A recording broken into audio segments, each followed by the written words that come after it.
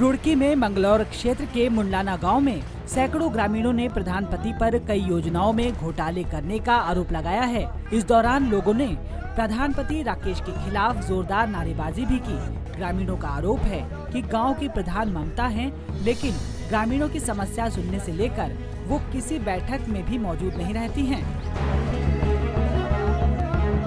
स्थानीय लोगों का कहना है कि गाँव में शौचालय और हैंडपंप में भी प्रधानपति ने मोटी रकम वसूली है।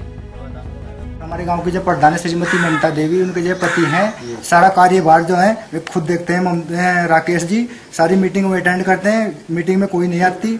कच्ची मिट्टी का कार्य बीस हज़ार की मिट्टी गिरवा दी नब्बे हज़ार रुपये का एस्टीमेट बनवा दिया। जो अ, जहाँ पर पहले से हेडपम्प लगा हुआ था सरकारी उसके बराबर में समरसेल लगा दिया हमने। उसके बाद में ग्राम प्रधान ने घोटाला करके वहाँ पर ग्राम वालों से पाँच पाँच सौ हज़ार हज़ार रुपये लेके लिस्ट एक और जारी कर दी दो लिस्ट और जारी कर दी। जबकि अधिकारी ने जब से पहले सूची जारी खत्म नहीं होने की उसके बाद नए नाम जाएँगे पहली सूची जारी नहीं करी दूसरी सूची अलग से एक्स्ट्रा कर इस मामले की शिकायत तहसील प्रशासन से लेकर बड़े अधिकारियों तक की गई, लेकिन कोई कार्रवाई नहीं हुई। मामले का संज्ञान लेते हुए नॉर्सन ब्लॉक के वीडियो को प्रधान की जाँच के आदेश दिए हैं। News bureau.